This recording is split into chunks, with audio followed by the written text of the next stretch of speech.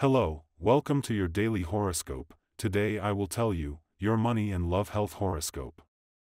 Aries, April 30th, 2023.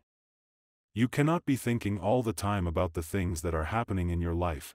Remember very well that everything you experience can really be happening because you have a lot of strength to face everything, so do not stop seeing the positive within yourself. Aries Life You are already thinking about the things you have to do to have a partner, but in truth that is not relevant, you have to think a little more about the things that are really happening in what you want to achieve, do not forget Aries. When real money has many good opportunities at this time you can be very happy, do not let everything go your way because you do not have time to solve what is not going well today. If you're thinking all the time about things that really can be a little different so don't forget what can be good today.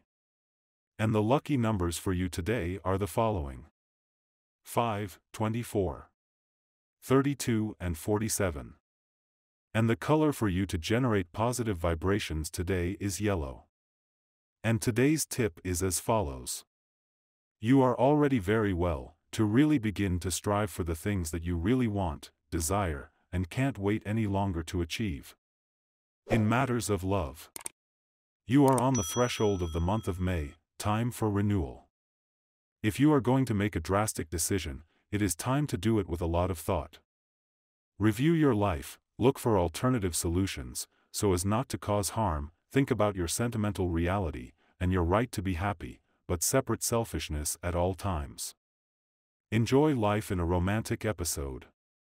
Your couple prediction for today is The best relationship today, things will go very well for you, if your partner is a sign of fire like yours, as well as with Libra and Gemini.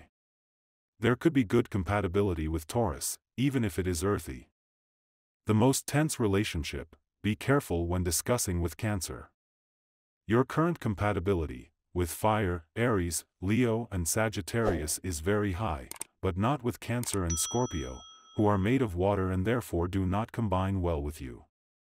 If you are single, this new month of May that begins tomorrow will be very different from what you had planned. Be prepared for the unexpected.